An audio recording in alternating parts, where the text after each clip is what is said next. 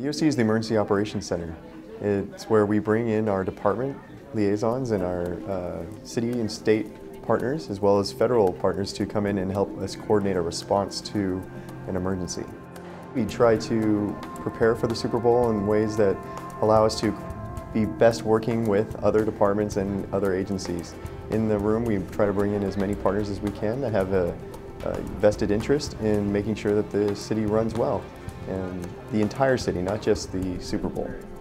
We work closely with the police department and the fire department to uh, coordinate uh, special event channels. Um, we have increased our staffing levels to the maximum that we can increase on the number of spaces we have on the floor to ensure that the calls coming in from the citizens are answered uh, quickly and promptly. If an emergency were to occur in San Francisco, the Emergency Operations Center would be primarily responsible for bringing in information, providing a situational awareness and common operating picture, and to coordinate resources in response to the event.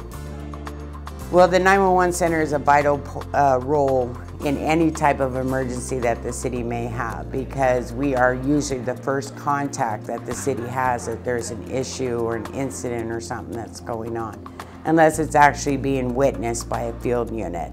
This, this center is critical. It allows us to all come together in one room. Instead of sitting in isolated areas, we can turn around and bridge the gap between certain sectors. So public safety can talk to health and human services, and infrastructure can reach out to health if assets are needed, as well as the community. Bringing in the community into the EOC is very important because there is no city of San Francisco without the community and business operating. The key to success in managing an event like the Super Bowl or an unplanned event is open communication. It's the ability to freely talk to the right agencies and the right departments and get the information we need, as well as disseminate that information to the public and our elected officials. My thing to the public is, you know, we're here for you. Call us. Even if you are not sure it's a 911 call, just give us a call. We will evaluate your call and refer you to the most appropriate person.